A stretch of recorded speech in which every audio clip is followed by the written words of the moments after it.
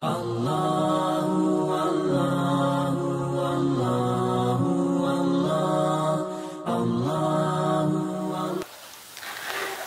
لله رب العالمين والصلاة والسلام على أشرف الأنبياء والمرسلين سيدنا محمد صلى الله عليه وسلم Hadirin jamaah salat maghrib yang dirahmati oleh Allah Subhanahu wa taala.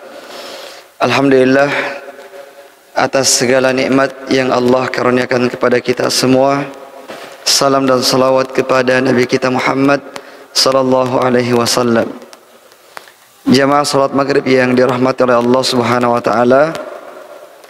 Pada kesempatan yang berbahagia ini kita akan melanjutkan pembahasan kita dari kitab yang berjudul Kisasul Anbiya'i Al-Qasasul Haqqa Kisah-kisah para nabi Kisah-kisah yang hak, yang benar Yang disampaikan, yang ditulis oleh Syekh Abdul Qadir Syaibatul Hamdi Rahimahullahu Ta'ala. Dan uh, insyaAllah pada kesempatan kali ini kita akan menyelesaikan tentang kisah begitu pula keutamaan dari Nabi Ibrahim alaihissalam. Di mana pada pertemuan yang lalu kita telah menyebutkan satu persatu doa-doa yang pernah dipanjatkan oleh Nabi Nabi Ibrahim alaihissalam yang disebutkan oleh Allah Subhanahu wa taala di dalam Al-Qur'anul Karim. Dan sekarang kita akan menyebutkan beberapa sifat beberapa keutamaan Nabi Ibrahim alaihissalam yang disebutkan oleh Allah Subhanahu wa taala di dalam Al-Qur'anul Karim. Ya. Begitu pula yang disebutkan oleh Nabi kita Muhammad sallallahu alaihi wasallam. Taib jemaah yang dirahmati oleh Allah Subhanahu wa taala di antara sifat-sifat yang mulia yang dimiliki oleh oleh Nabi Ibrahim alaihissalam adalah yang pertama firman Allah Subhanahu wa taala inna Ibrahim kana ummatan qanitan lillahi hanifan wa lam yakun minal musyrikin. Di dalam surah An-Nahl ayat 120 sampai 122 Allah berfirman sesungguhnya Ibrahim adalah umat yang qanitan lillahi hanifan yang senantiasa tunduk dan ikhlas walam yaku minal musyrikin. Dan bukan termasuk orang-orang yang musyrik. Syakiran li an'umih. Ijtabahu wa hadahu ila sirati mustaqim. Yang senantiasa bersyukur terhadap nikmat yang Allah berikan kepadanya. Dan Allah Subhanahu wa taala memilihnya. Ijtabahu wahadahu dan memberikan petunjuk kepadanya kepada jalan yang lurus. Wa atainahu fid dunya hasanah wa innahu fil akhirati laminas salihin. Ya di dunia diberikan kebaikan dan di akhirat termasuk orang-orang yang soleh. Taib jamaah yang dirahmati oleh Allah Subhanahu wa taala pada tiga ayat ini Allah Subhanahu wa taala menyebutkan beberapa keutamaan dan karakter dari Nabi Ibrahim alaihissalam. Yang pertama adalah Allah sebutkan dia sebagai ummah. Dan ummah yang kita ketahui adalah banyak orang. Ya, tidak bisa disebut umat itu satu orang. Tapi yang disebut dengan umat itu adalah banyak orang. Misalnya umat Islam, ya, umat Yahudi, umat Nasrani, umat ini dan ini dan itu. Itu yang disebut dengan umat. Akan tetapi Allah Subhanahu wa taala menyebutkan Ibrahim alaihissalam yang seorang diri sebagai ummah. Nah, dan di antara makna umat adalah ummah adalah al-imamul jami' li khisalil khair alladhi yuqtada bihi.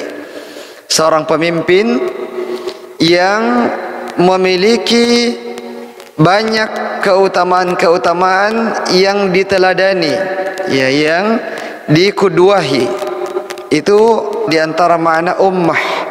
Dan Ibrahim alaihissalam adalah orang tersebut. Nah. Kemudian sifat yang kedua adalah qanitan. Apa artinya qanit qanitan? Al khashi' al muti'u li rabbih daiman.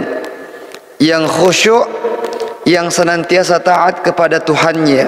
Yang senantiasa taat kepada perintah-perintah Allah semuanya tanpa terkecuali nah itu adalah makna dari al-qanit yang beribadah kepada Allah dengan khusyuk dan senantiasa melaksanakan perintah Allah Subhanahu wa taala. Di mana melaksanakan perintah Allah Subhanahu wa taala seluruhnya itu bukanlah perkara yang mudah.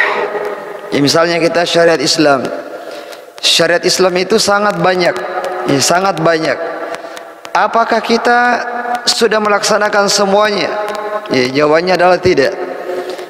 Beberapa syariat tersebut kita belum laksanakan. Ya kita hanya mampu mungkin melaksanakan yang sifatnya wajib saja. Yang sifatnya wajib. Adapun yang sifatnya sunnah yang sifatnya anjuran maka banyak yang belum mampu untuk kita laksanakan.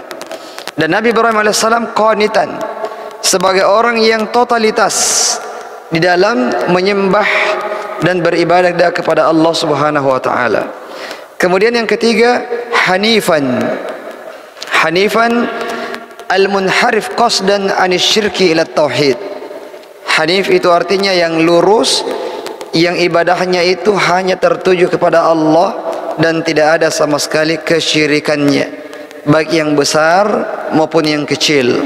Nah, sehingga agama Nabi Ibrahim AS juga disebut dengan agama Hanifiyah Hanifiyah artinya orang yang mengikuti agama Tauhid orang yang mengikuti ajaran yang lurus yang tidak menyekutukan Allah Subhanahu wa taala. Nah, dan agama Hanifiyah ini masih dikenal di zaman Nabi sebelum Nabi kita Muhammad sallallahu alaihi wasallam. Orang-orang masih mengenal ada namanya Al-Hanifiyah pengikut ajaran Nabi Ibrahim alaihissalam. Dan sebagaimana yang kita sebutkan pada pertemuan yang lalu bahawa orang-orang musyrik di zaman itu yang meninggal di dalam kesyirikan sebelum diutusnya Nabi sallallahu alaihi wasallam itu tidak disebut sebagai ahlul fatrah. Tidak disebut sebagai orang yang tidak diberikan hukuman kepadanya Kenapa? Karena belum ada nabi. Ya, belum ada nabi yang diutus kepada mereka. Ini tidak benar. Kenapa? Karena memang di zaman itu, di waktu itu dan di tempat itu tidak ada nabi. Ya di kota Mekah. Akan tetapi ajaran-ajaran Nabi Ibrahim alaihissalam itu masih dikenal oleh sebagian orang, ya, oleh sebagian orang. Dan mereka-mereka itulah yang meninggal dunia di atas agama Hanifiyah tersebut. Mereka adalah orang-orang yang akan selamat. Adapun orang-orang yang menyembah berhala ya, meskipun belum sampai nabi kepada mereka mereka dianggap sebagai orang yang meninggal dalam kesyirikan dan tempatnya adalah di dalam neraka. Ya sebagaimana Abdul Muttalib Abdul Muttalib meninggal dunia sebelum Rasulullah diangkat menjadi nabi. Pada waktu itu masih sangat kecil. Dan Abdul Muttalib ini orang yang meninggal di dalam kesyirikan. Ya dan tempatnya adalah di dalam neraka. Dan dalilnya adalah kisahnya Abu Talib ketika Abu Talib sekarat kemudian datang Nabi wasallam mengajaknya untuk mengucapkan kalimat la ilaha illallah kalimat yang dengannya Rasulullah akan memberikan syafaat kepada pamannya. Nah, tapi di situ ada juga Abu Jahal yang juga mengatakan ya Abu Talib atarghabu am millati Abdul Muttalib apakah kamu sudah benci dengan agamanya Abdul Muttalib ya apa agamanya Abdul Muttalib? Agamanya adalah kesyirikan. Agamanya adalah menyembah berhala. Sehingga Abu Talib yang mendengarkan ucapan tersebut tidak mampu dan tidak mau untuk mengucapkan kalimat la ilaha illallah. Ya, syahidnya adalah bahawa agamanya Abdul Muttalib adalah agama kesyirikan yang tidak sama sekali diridhai oleh Allah Subhanahu wa taala dan Abdul Muttalib ia termasuk orang-orang yang akan dimasukkan ke dalam neraka. Nah, jadi uh, agama Hanifiyah, agama yang lurus. Kemudian di antara sifat yang disebutkan di dalam ayat tersebut adalah syakirun li an'umi adalah dia senantiasa bersyukur terhadap nikmat yang Allah berikan kepadanya. Nah, ini di antara karakter Nabi Ibrahim AS yang sangat mencolok bahawa dia adalah orang yang sangat pandai untuk mensyukuri semua nikmat-nikmat Allah Subhanahu wa taala yang diberikan kepadanya. Nah, kemudian apa buah dari semua karakter-karakter tersebut? Buahnya adalah ijtabahu. Allah kemudian memilihnya. Memilihnya sebagai apa? dipilih sebagai khalil ya dipilih sebagai kekasih Allah Subhanahu wa taala yang di mana ya Nabi SAW mengatakan inna Allah takhadhani khalilan kama takhadha Ibrahim khalila sesungguhnya Allah Subhanahu wa taala menjadikan saya sebagai kekasihnya sebagaimana Allah menjadikan Ibrahim sebagai kekasihnya. Jadi dari semua manusia yang Allah ciptakan dari semua nabi-nabi yang Allah utus hanya dua saja yang dipilih ya sebagai khullah. Dan khullah itu adalah derajat cinta yang paling tinggi. Ya derajat cinta yang paling tinggi kalau kita levelkan maka di bawahnya itu ada mahabbah. Mahabbah itu adalah cinta. Dan khullah itu adalah cinta yang berlebih. Ya, kecintaan yang berada pada level yang tertinggi. Nah di mana derajat khullah ini tidak mampu untuk kemudian memasukkan orang lain di dalam hatinya. Karena hatinya tersebut sudah penuh dengan ya sudah penuh dengan rasa cinta itu nah jadi hatinya cuma mampu untuk menampung satu orang yang dia cintai. Nah, itu uh, Nabi Ibrahim alaihissalam dan Nabi Muhammad sallallahu alaihi wasallam. Taib.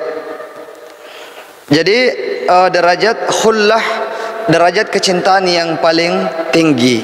Nah, di mana Nabi Ibrahim alaihissalam dan Nabi Muhammad sallallahu alaihi wasallam sebagai seorang khalil, sebagai seorang kekasih, dia mencintai Allah Subhanahu wa taala dengan kecintaan yang luar biasa. Dan kecintaan tersebut terbukti, terbukti. Dan Allah Subhanahu wa taala sebagai seorang kekasih, ya, sebagai kekasih, sebagai khalil, ya sebagai kekasih yang telah menjadikan Ibrahim dan Muhammad SAW sebagai kekasihnya itu sangat cemburu dengan khalilnya. Ya, di antara sifat Allah adalah al-ghurur. Di antara sifat Allah Subhanahu wa taala adalah cemburu. Wa ghairatullahi an ya'ti al-'abdu lima harramahu Allah taala. Dan kecemburuan Allah itu ketika seorang hamba mendatangi kemaksiatan ya Allah akan cemburu kepadanya dan juga di antara bentuk kecemburuan Allah Subhanahu wa taala kepada hambanya terutama kepada khalilnya kepada kekasihnya adalah ketika kekasihnya tersebut ternyata mencintai hambanya ya, dengan kecintaan yang besar yang memalingkan kecintaannya kepada Allah Subhanahu wa taala maka Allah akan ia mengujinya agar dia kembali kepada rel yang sebelumnya. Rel yang sebelumnya itu adalah menyerahkan kecintaannya yang penuh hanya kepada Allah Subhanahu wa taala. Ya ujian tersebut misalnya diberikan kepada Nabi Ibrahim alaihissalam ya ketika Nabi Ibrahim alaihissalam kecintaannya itu mulai terpalingkan.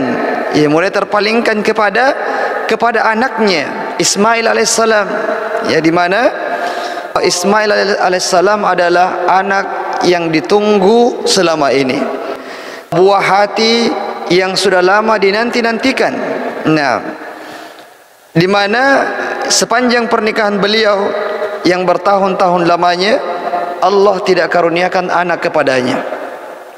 Dan ketika di umur yang sudah tua, kemudian Allah memberikan kabar gembira kepadanya bahwa Allah akan memberikan seorang anak kepadanya eh, yaitu Ismail dan kemudian setelah itu kabar gembira lagi datang kepada beliau bahwa Allah akan memberikan kabar gembira kepadanya yaitu seorang anak yang bernama Ishak dan setelahnya yang bernama Yakub. Nah, dan ketika Nabi Ibrahim alaihissalam dikarunia Ismail, ia kecintaan kepada Allah itu seakan-akan mulai tergerus, ia mulai terkikis. Kenapa? Karena ada yang mewalingkan. Ada anak-anak buah, ada buah hati yang selama ini sudah lama ditunggu-tunggu. Kemudian Nabi Ibrahim sebagai seorang ayah, tabiat nalurinya pasti akan sangat mencintai anak tersebut. Sehingga Allah Subhanahu wa taala cemburu kepada khalilnya, kepada kekasihnya Nabi Ibrahim alaihissalam sehingga Allah mengujinya Allah perintahkan dia untuk menyembelih anaknya. Ya, sebagai ujian. Ya, sebagai ujian. Sebagai pembuktian. Apakah Ibrahim alaihissalam ini benar-benar dia adalah seorang hamba yang pantas yang layak untuk dijadikan sebagai kekasih Allah Subhanahu wa taala? Dan Nabi Ibrahim alaihissalam yang menunjukkan kualitas keimanannya menunjukkan kecintaannya yang totalitas kepada Allah Subhanahu wa taala yang tidak berpikir panjang dan lama dia pun bertanya kepada anaknya bahawa saya akan menyembelihmu. Jadi ini adalah istabahu. Allah memilihnya. Allah memilih Ibrahim alaihissalam sebagai khalilnya, sebagai kekasihnya. Nah, tapi kemudian oh, jemaah yang dirahmati oleh Allah Subhanahu wa taala ayat yang berikutnya yang menunjukkan sifat keutamaan Nabi Ibrahim alaihissalam adalah di dalam surah An-Najm ayat 37. Allah berfirman, "Wa Ibrahim alladhi waffa." Dan Ibrahim yang senantiasa wafa. Wafa itu melakukan apa yang dia janjikan kepada Allah. Nah, yaitu qama bi jami'i ma amara Allah bihi.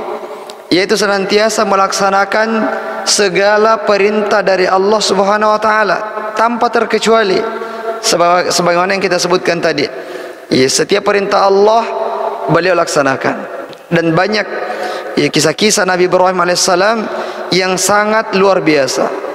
Di antara bentuknya misalnya adalah pada saat Ibrahim diperintahkan oleh Allah untuk membawa anaknya yang masih kecil dan istrinya ke padang pasir yang tandus yang tidak ada penghuninya untuk ditinggalkan. Ya untuk ditinggalkan. Dan kita sebagai manusia kita sebagai seorang ayah kita sebagai seorang suami pasti tidak akan merasa tenang dan tidak akan merasa ringan untuk kemudian melakukan perintah yang seperti itu pasti hati nurani kita tidak mengizinkan hal tersebut. Nah, tapi Nabi Ibrahim alaihissalam karena ini ini adalah perintah Allah Subhanahu wa taala, maka dia meyakinkan dirinya bahawa kalau perintah Allah pasti Allah tidak akan menyia-nyiakannya. Allah pasti tidak akan menelantarkannya. Nah, dan sebagai ya pelajaran juga kepada kita semua bahawa siapa yang melaksanakan perintah Allah Subhanahu wa taala dan yakin ya dan yakin kepada Allah maka Allah akan menolongnya. Allah akan mem memudahkan urusan-urusannya. Nah begitu pula dengan meninggalkan sesuatu karena Allah. Siapa yang meninggalkan sesuatu karena Allah maka Allah akan memberikan ganti yang lebih baik kepadanya. Sebagaimana sabda Nabi sallallahu alaihi wasallam man taraka syai'an lillah awadahu Allah khairan minhu barang siapa yang meninggalkan sesuatu karena Allah maka Allah akan menggantikan yang lebih baik untuknya nah jadi Nabi Ibrahim alaihissalam uh, adalah orang yang wafah, orang yang senantiasa memenuhi janjinya kepada Allah Subhanahu wa taala. Kemudian ayat yang berikutnya di surah Hud ayat 35 Allah berfirman, "Inna Ibrahim lahalimun awahun munib." Sesungguhnya Ibrahim adalah halim, yakni dzu rahmah. Orang yang berbelas kasih. Nah, orang yang berbelas kasih di mana uh, kasih sayangnya kepada uh, umatnya kepada umatnya bahkan kepada mereka yang kafir itu sangat besar di mana misalnya kepada ayahnya yang senantiasa diharapkan keimanannya yang senantiasa dia dakwahi ajak kepada agama tauhid. Dan ketika dia meninggal dunia dia berjanji bahawa saya akan memintakan ampun kepadamu. Meskipun dia tahu bahawa ayahnya meninggal dunia dalam kesyirikan dan tidak ada lagi jalan untuk Allah ampuni ampuni dosa-dosanya tapi karena rahmat tersebut kasih sayang tersebut yang teramat besar sehingga dia pun tetap memintakan ampun untuk uh, ayahnya namun buahnya adalah Allah tegur dia wahai Ibrahim ya tidak pantas bagi seorang nabi untuk memintakan ampunan kepada orang-orang yang meninggal dunia di dalam kesyirikan. Nah, dan juga perintah ini larangan ini berlaku kepada kaum muslimin secara umum kita semua oh, ketika ada yang meninggal dunia dari kerabat kita atau dari siapapun dan dia meninggal di dalam kesyirikan, di dalam kekufuran, maka tidak boleh untuk kemudian kita mendoakan ampunan untuknya ketika dia telah meninggal dunia di dalam kesyirikan tersebut. Nah, kemudian di antara karakter beliau adalah karamuhu wa sakhauhu. Beliau adalah orang yang sangat dermawan. Nah, sebagaimana yang disebutkan di dalam surah Az-Zariyat ayat 24 sampai 27 Allah berfirman, "Hal ataka hadithu dhaifi Ibrahim al-mukramin? Dakhalu alaihi faqalu salama. Qala salamun qaumun munkarun." faraga ila ahlihi faja'a bi ijlin samin apakah tidak datang kepadamu? Berita tentang tamunya Ibrahim. Pada saat mereka datang kemudian Ibrahim alaihissalam yang tidak mengenali mereka ia tidak mengenali siapa yang datang ini tapi dia memuliakan tamunya. Bagaimana caranya dimuliakan tamunya? Ja'a bi ijlin samin. Dia menyembelih sapi yang gemuk yang disodorkan kepada mereka. Ya, padahal ini adalah tamu yang tidak pernah datang sebelumnya. Tamu yang tidak dikenal, bukan kerabatnya, ya, bukan temannya, tamu yang asing baginya. Nah, tapi meskipun demikian, karena tamu ini adalah dia lihat dari jauh, oh, tidak ada tanda-tanda dia mengenalinya sama sekali dan tidak ada tanda-tanda bahawa orang tersebut datang dari kampung itu ya maka Nabi Ibrahim alaihissalam me menyodorkan menyuguhkan kepada mereka hidangan yang luar biasa yaitu sapi. Enam sapi yang gemuk. Ini adalah bentuk kedermawanan Nabi Ibrahim alaihissalam yang dipuji oleh Allah Subhanahu wa taala. Nah kemudian yang selanjutnya yang kelima yang terakhir kita sebutkan kemudian kita masuk pada kisah Nabi Lut alaihissalam. Nah yang kelima adalah azmu sabrihi kesabarannya yang luar biasa. Nah. Dan beliau termasuk di antara ulul azmi yang kata Allah Subhanahu wa taala fasbir kama sabara ulul azmi minar rusul. Dan bersabarlah sebagaimana kesabarannya para ulul azmi. Ulul azmi itu nabi-nabi dengan tingkat kesabaran yang paling tinggi. Dan mereka adalah Nabi Nuh alaihissalam Nabi Ibrahim alaihissalam Nabi Musa Nabi Isa dan Nabi Muhammad sallallahu alaihi wasallam. Ya lima nabi ini adalah nabi ulul azmi dengan kesabaran yang yang luar biasa. Nah. Kalau kita berbicara tentang kesabaran Nabi Ibrahim alaihissalam, maka itu sangat banyak, ya, sangat banyak dan sebagiannya sudah kita sebutkan pada pembahasan-pembahasan sebelumnya. Ya bagaimana kesabaran beliau meninggalkan istrinya, kesabaran beliau tidak dikaruniai anak sampai usia yang tua, kesabarannya melihat kekufuran ayahnya sendiri, kesabarannya dalam mendakwahkan tauhid sampai harus dibakar hidup-hidup, kesabarannya di dalam menyembelih anaknya dan kesabaran yang sangat banyak dari Nabi Nabi Ibrahim alaihissalam. Nah, taib. Uh, itu pembahasan kita tentang Nabi Ibrahim alaihissalam yang merupakan Nabi yang terbaik yang kedua setelah Nabi kita Muhammad sallallahu alaihi wasallam. Kemudian yang selanjutnya adalah Nabi Lut alaihissalam. Ya, Nabi Lut Nabi Lut ini adalah keponakan dari Nabi Ibrahim ya keponakan dari Nabi Ibrahim. Nama beliau adalah Lut bin Harun bin Azar. Jadi Azar uh, adalah kakeknya. Dan Azar itu merupakan ayah dari Nabi Ibrahim. Nabi Ibrahim bersaudara dengan Harun. Jadi Lut ini adalah keponakan dari Nabi Ibrahim alaihissalam. Dan beliau adalah orang yang paling pertama beriman dan membenarkan risalah yang dibawa oleh Nabi Ibrahim alaihissalam.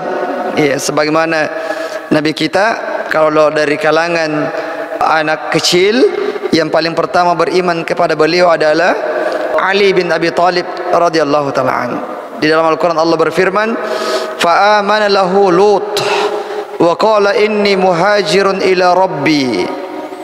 Dan Lut beriman kepadanya, yaitu kepada Nabi Ibrahim alaihissalam tentu saja waktu itu belum diangkat menjadi menjadi nabi. Nah, jadi Lut dan Ibrahim ini sezaman, ya sezaman meskipun lebih dahulu Nabi Ibrahim alaihissalam. Nah, kemudian Lut alaihissalam setelah diangkat menjadi nabi, Allah mengutusnya ke negeri Sodom, ya ke negeri Sodom yang berada di Jordania yang berada tidak jauh dari laut mati. Jadi tempat mereka itu berada di sekitar laut mati di Jordania di Jordan. Nah jadi Allah Subhanahu wa taala mengutus Nabi Lut alaihissalam untuk menyadarkan untuk memberikan peringatan kepada kaum Sodom. Ya, kaum Sodom yang di mana kemaksiatan mereka adalah kemaksiatan yang belum pernah dilakukan oleh umat-umat sebelumnya. Kemaksiatan mereka adalah perilaku homoseksual atau liwat. Ya, dalam bahasa Arab di dalam bahasa Nabi wasallam adalah liwat di mana Allah melaknat orang-orang yang berbuat liwat. Ya, apakah itu homo ataukah lesbi? Laki-laki dengan laki-laki atau perempuan dengan perempuan? Nah jemaah yang dirahmati oleh Allah subhanahu wa ta'ala di dalam Al-Quran Allah subhanahu wa ta'ala menyebutkan eh, bahawa mereka adalah kaum yang pertama kali melakukan perbuatan keji itu atatuna al-fahishata ma sabakakum biha min ahadim minal alamin? Apakah kalian mendatangi sebuah perbuatan fahisyah, perbuatan yang keji yang bahkan belum pernah dilakukan oleh umat-umat sebelum kalian. Nah, tidak pernah mereka mendengarkan dan melihat bahawa ada yang pernah melakukan perbuatan yang seperti itu sebelumnya. Nah, sehingga dosa mereka ini sudah sangat keterlaluan sehingga Allah Subhanahu wa taala mengutus Nabi Lut alaihissalam untuk memberikan peringatan dan mengajak mereka kepada kepada Allah Subhanahu wa taala. Dan tentu saja dosa mereka itu bukan cuma masalah liwat, bukan cuma masalah LGBT, tapi masalah terbesarnya tentu saja adalah masalah kesyirikan. Ya, mereka juga menyembah berhala dan di samping itu mereka juga melakukan perbuatan keji yaitu perbuatan liwat atau homoseksual. Nah, adapun eh, bagaimana awal terjadinya ya, mengapa mereka sampai terobsesi untuk melakukan perbuatan liwat tersebut ada beberapa riwayat yang disebutkan oleh para ulama. Di antaranya misalnya yang disebutkan oleh Imam As-Suyuti dan As-Safra As-Safarai As-Safarai ini mereka mengatakan bahawa mereka ini kaumnya Nabi Lut alaihissalam dikenal dengan kedermawanannya. Dikenal sebagai kaum yang sangat dermawan. Nah. Dan suatu ketika terjadi paceklik yang menimpa mereka yang tidak yang membuat mereka gagal panen dan juga kelaparan.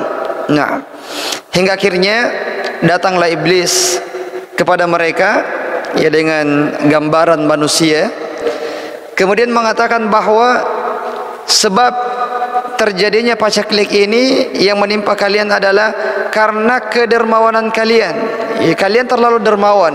Nah, maka untuk mengembalikan masa subur tersebut maka kalau datang kepada kalian orang-orang yang asing ya orang-orang yang asing maka datangilah mereka dan gaulilah gaulilah mereka. Nah jadi sudah ada inisiatif dari iblis. Nah kepada mereka kalau kalian mau keluar dari paceklik ini maka sebagai tumbalnya adalah kalau datang para pendatang kepada kalian maka kerjain mereka. Ya, kerjain di sini maksudnya adalah datangi mereka di duburnya. Ya, laki-laki dengan laki-laki. Setelah memberikan usulan tersebut, ya kemudian iblis laknatullah alaih dia pun menyamar menjadi seorang pendatang dengan rupa yang rupawan dengan rupa yang ganteng yang membuat ya, mereka semua tertarik. Ya, membuat mereka tertarik untuk kemudian menggaulinya. Nah dan hingga akhirnya itu pun menjadi kebiasaan. Setiap kali ada pendatang mereka akan uh, gauli.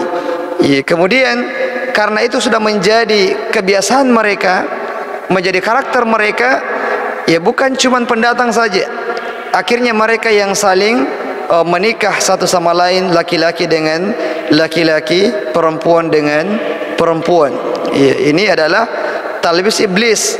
Sesuatu yang bertentangan dengan fitrah tapi kemudian dijadikan indah di mata-mata mereka oleh oleh iblis. Ini disampaikan ini disebutkan oleh Imam As-Suyuti. Meskipun riwayat yang lain disebutkan oleh Tawus dia mengatakan atau awalan an-nisaa fi adbarihinna. Jadi pertama-tama itu mereka menggauli istri-istri mereka di dubur-duburnya. Nah, di bagian belakangnya. Kemudian karena mereka sudah terbiasa dengan hal ini, akhirnya berubah. Ya bukan lagi perempuan yang mereka jadikan istri, tapi yang dijadikan istri adalah sesamanya. Begitu pula dengan perempuan yang dijadikan suami adalah sesamanya. Nah, oh, jadi ini adalah awal mula kenapa sehingga terjadi perbuatan liwat, perbuatan homoseksual tersebut. Jadi ya ini sebenarnya bukan sebagaimana yang disebutkan uh, oleh kaum LGBT bahwa itu merupakan sebuah penyakit atau sebuah bawaan karakter bawaan. Kalaupun dia merupakan sebuah kelainan, bukan berarti bahawa kelainan tersebut dibiarkan dan tidak diobati, tidak diluruskan. Karena sebenarnya asal muasalnya adalah ini tidak pernah ada. Asal muasalnya adalah manusia itu pada fitrahnya. Laki-laki suka kepada perempuan dan perempuan suka kepada laki-laki. Dan itu fitrah yang Allah ciptakan untuk manusia. Nah, tapi kemudian yang merusak fitrah tersebut adalah iblis kemudian ya mereka pun akhirnya dipermainkan oleh iblis. Dan pada akhirnya ya semakin merajalela juga di zaman kita ini di mana pada sebagian negara itu sudah dilegalkan. Ya pernikahan sesama jenis itu sudah menjadi sesuatu yang legal. Dan tidak lagi dipandang sebagai aib. Ya tidak lagi dipandang sebagai aib.